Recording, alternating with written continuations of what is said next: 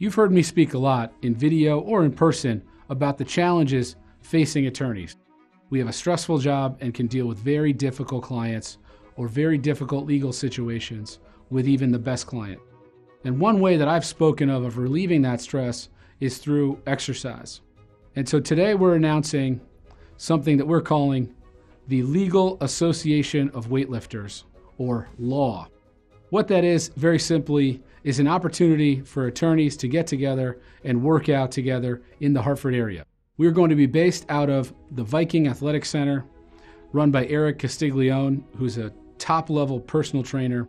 And once a week, we are going to provide a free and open personal training session with myself and any other attorneys who'd like to attend. The schedule will be posted on our website and will be updated regularly on social media. Please consider joining me in picking some heavy things up and putting them down. It's a lot of fun. It's a great way to get some stress out.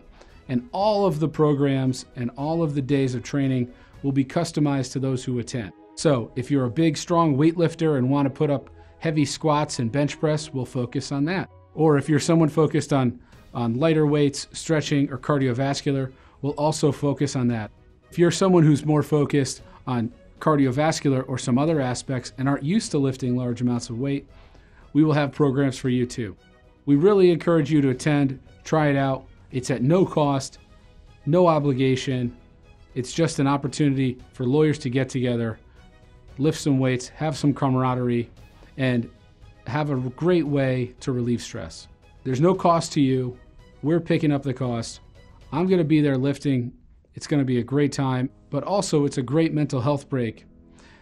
Relieve that stress, which is something that us as lawyers need to do a better job of. Please consider joining us at the Legal Association of Weightlifting in West Hartford at Viking Athletics at our next session.